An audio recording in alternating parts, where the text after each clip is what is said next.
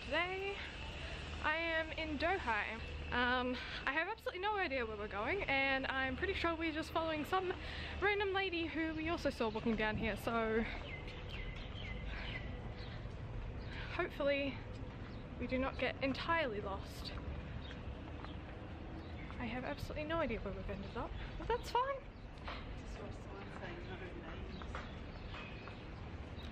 My apologies. So far impressions of the city is that it is hot and the architecture is really interesting. And we've ended up here, which I'll show you some clips.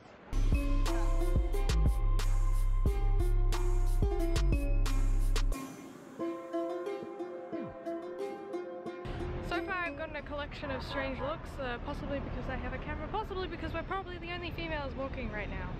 I don't know why. Super hot and that is the police. And it sounds like a frog.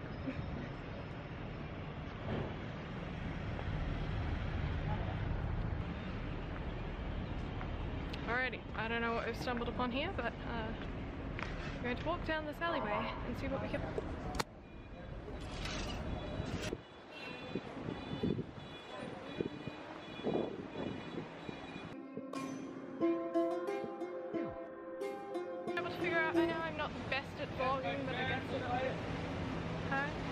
I'll get better at it as I go, I assume.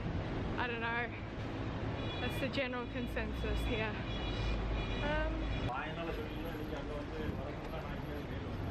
Pretty hot and I don't know, it's really interesting to see how sort of everything is in Arabic and some of the shops are even just in Arabic. Ferrari Center. Can I buy a Ferrari? No.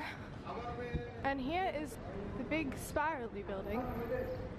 I have absolutely no idea what it is, but uh, Going grocery shopping, but I have absolutely no idea where any grocery stores would be, so there's a small issue. But I'll show you some clips of this building.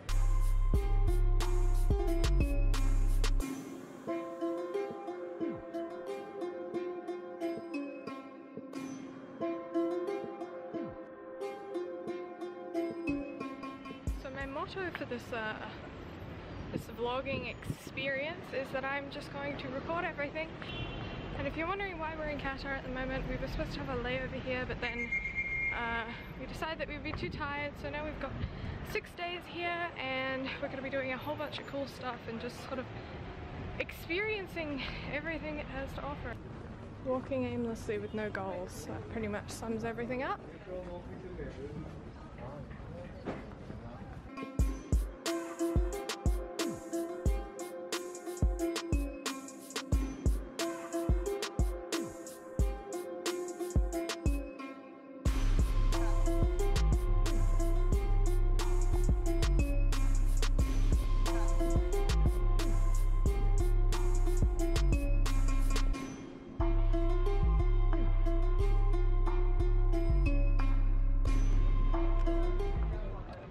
I hope you enjoyed those uh, clips of the souk. Really interesting, the whole culture and it's just really different to what we're all used to. It's also kind of a little bit scary, but it's all part of the experience, right? All part of the experience. Good thing to note if you're planning on coming to Doha at any point, there's not really any footpaths anywhere. It's kind of just a bunch of everything and anything goes.